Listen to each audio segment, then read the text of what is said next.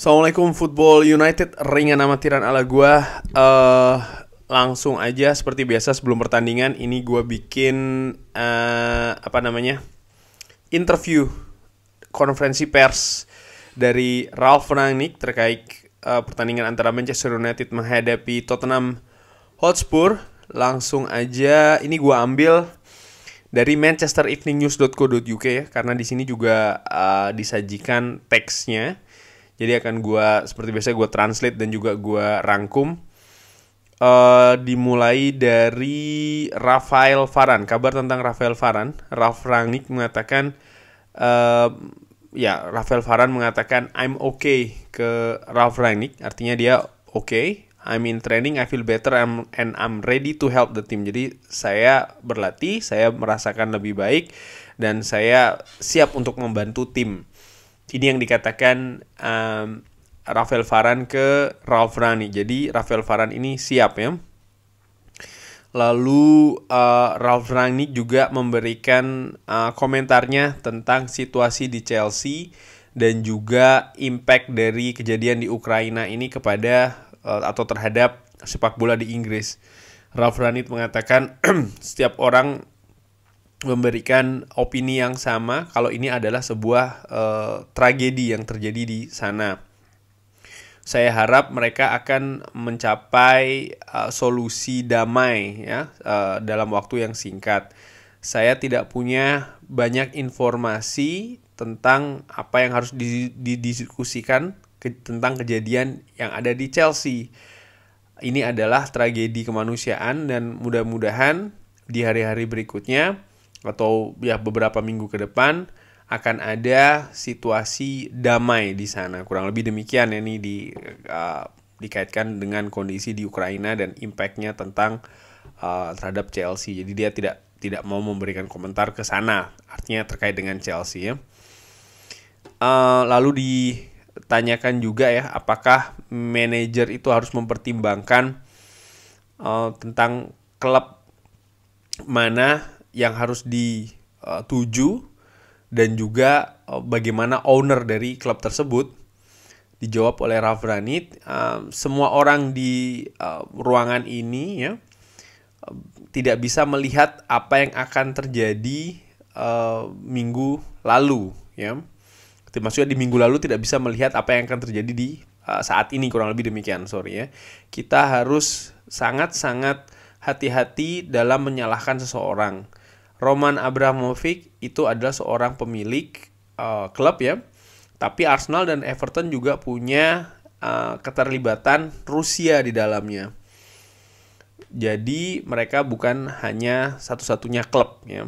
Ini kurang lebih dikatakan kan apakah manajer itu dalam memilih klub harus mempertimbangkan juga siapa yang memilih klub dan yang lain kurang lebih demikian karena kan ya Chelsea sekarang terlibat masalah karena ownernya Roman Abramovich kan. Tapi kalau menurut gue sih dengan amatir langsung aja gue kasih opini ya. Tidak bisa dilihat seperti itu karena ketika ya kejadian seperti ini bulan lalu atau dua bulan yang lalu tiga bulan lalu kan nggak ada yang mengira begitu ya. Jadi menurut gue ya setuju sih dengan apa yang dikatakan oleh Ralf Rangnick.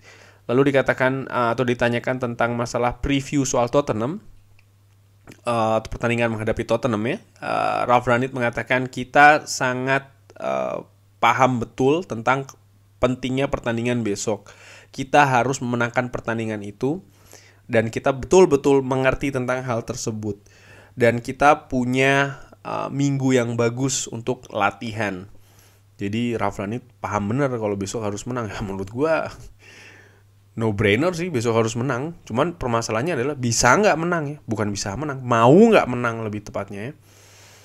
Uh, lalu tentang kabar mengenai Luke Shaw dan juga Scott McTominay yang akan absen di pertandingan besok ya. Uh, Ralph Ranit mengatakan Luke Shaw akan uh, tidak tersedia ya atau akan ya um, tidak bisa bermain besok sampai dengan kemarin dia masih positif COVID.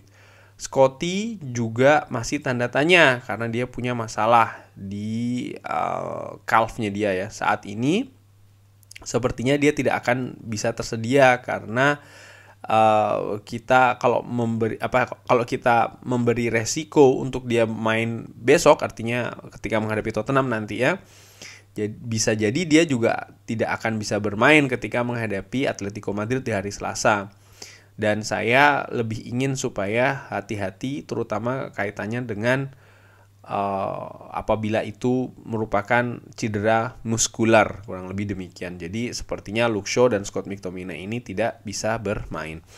Lalu kabar dari Cristiano Ronaldo yang terbaru Ralf Ranit mengatakan dia latihan kemarin dia latihan di seluruh sesi kemarin dan saya berharap dia bisa latihan juga hari ini ya uh, ya saya tidak saya berpikir kalau dengan apa yang apa namanya berdasarkan latihan kemarin maka dia harusnya bisa tersedia untuk pertandingan besok. Uh, dan juga saya belum menanyakan apabila dia ini happy atau tidak di Manchester. Tapi yang jelas dia sekarang sudah fit dan dia juga uh, latihan kemarin. Dan kita harus melihat uh, formasi apa yang akan kita tampilkan untuk besok. Artinya oke okay, Cristiano Ronaldo uh, sudah fit lagi tapi apakah dia akan bermain atau tidak ini Ralf Ranit memberikan teka-teki di kalimat terakhirnya mengatakan ya kita harus melihat formasi apa yang kita akan, akan turunkan besok ya terkait dengan mungkin pastinya ada kaitannya juga dengan Cristiano Ronaldo. Lalu ditanyakan juga soal masalah itu ya perjalanan atau kemarin kan Ronaldo sempat ke Portugal. Uh, dan Ralf Ranit menjawab um, tidak masuk akal untuk melihat apa yang telah terjadi uh, eh, 6 atau 7 hari yang lalu. Apa yang lebih penting adalah besok, artinya pertandingan menghadapi Tottenham. Saya tidak akan uh, melal apa saya tidak akan mengulas atau membahas hal hal ini lagi. Dia dan Eddie Edison Cavani ya uh, sekarang ini bisa tersedia untuk besok. Jadi Rafrani tidak ingin membahas tentang masalah itu tadi kepergian Ronaldo ke uh, Portugal ketika dia diputuskan tidak bermain ketika menghadapi uh, Manchester City yang dikabarkan atau yang diulas atau di ya diberitakan kan tidak bisa bermain karena cedera. Apakah betul cedera atau tidak? Nah, hanya yang bersangkutan dan mungkin tim dan lain-lain yang tahu ya. Lalu ditanyakan juga soal masalah Marcus Rashford, apa yang harus dilakukan oleh Marcus Rashford um, Ralf Ranit mengatakan dia harus bermain di level yang sama ketika dia berlatih. Uh, ya, ini adalah semuanya kita bicara seminggu yang lalu, dua minggu yang lalu di konferensi pers. Markus berlatih sangat bagus ya. Dia ini betul-betul seorang yang memiliki talenta. Dia memiliki hampir segalanya yang di di apa ya, yang harus dimiliki oleh striker modern. Ini tentang transformasi uh, penampilan dari penampilan di lapangan latihan ke pertandingan.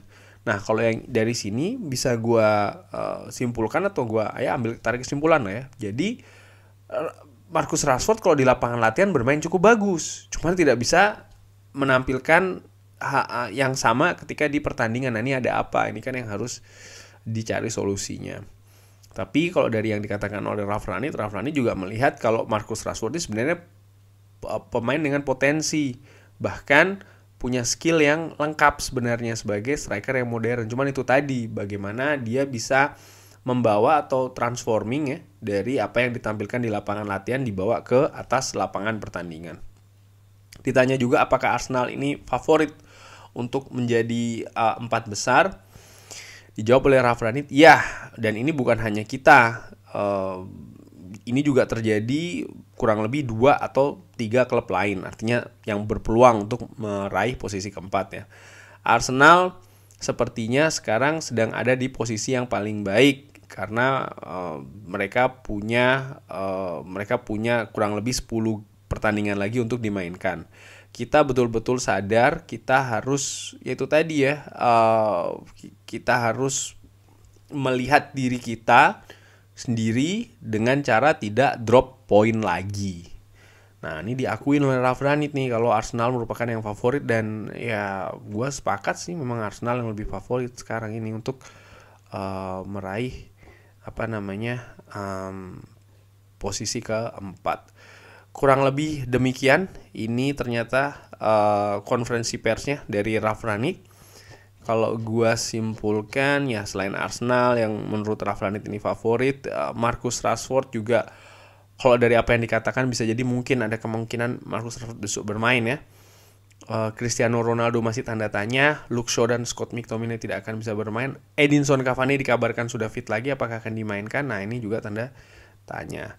Kurang lebih demikian kalau oh ya satu lagi sebelum diakhiri adalah Rafael Varane nih. Rafael Varane sudah fit lagi jadi ada kemungkinan dimainkan.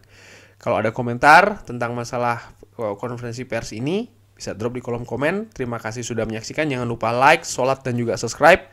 Wassalamualaikum warahmatullahi wabarakatuh.